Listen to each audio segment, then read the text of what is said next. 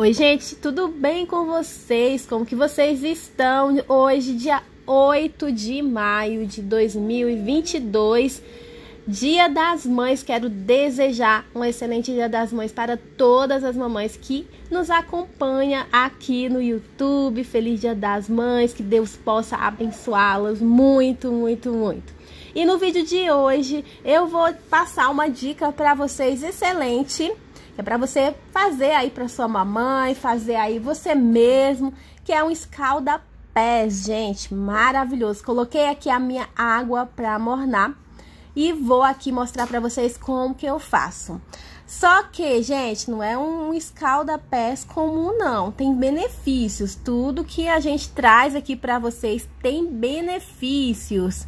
Se você tem sofrido aí com problemas aí de estresse, de cansaço, é, inchaço nas pernas. Sim, isso aqui é excelente para você, esse escalda-pés, sabe por quê? Ah, gente, ele ainda é ótimo para quem tem micose nas unhas também, para deixar aí bem fininho, bem é gostoso, sabe? Aquele pé de bebê mesmo, teu pé. Então, ele é maravilhoso para isso. Os pés, eles constituem uma parte do corpo humano que se desgasta muito, afinal eles precisam nos sustentar, né? Enquanto nós caminhamos, corremos, ficamos muito tempo em pé e até sentado.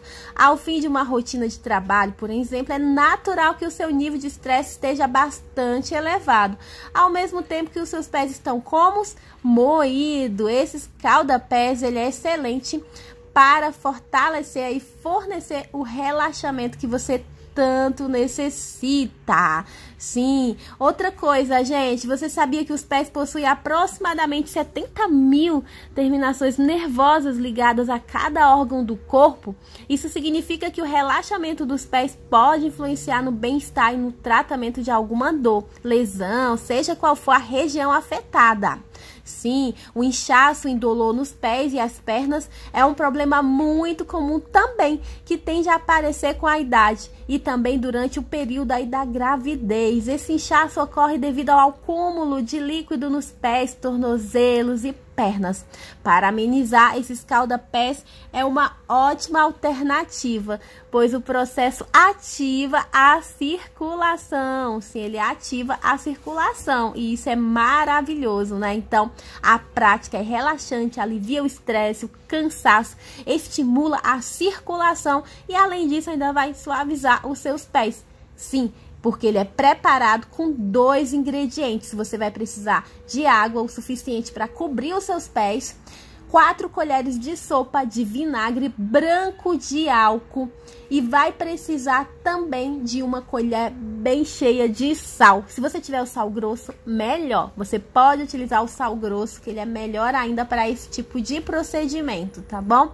E aí você vai misturar tudo em uma bacia, lembrando que a água tem que ser morna, sabe? Aquele banho de bebê que você coloca ali a mão, não queima de jeito nenhum, que é gostoso.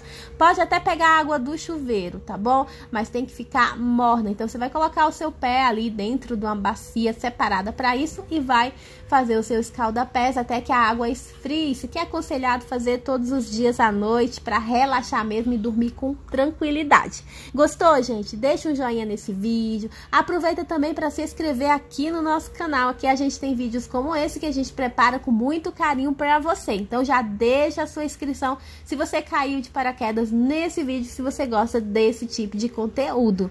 Até o próximo vídeo. Fiquem todos com Deus e tchau, tchau.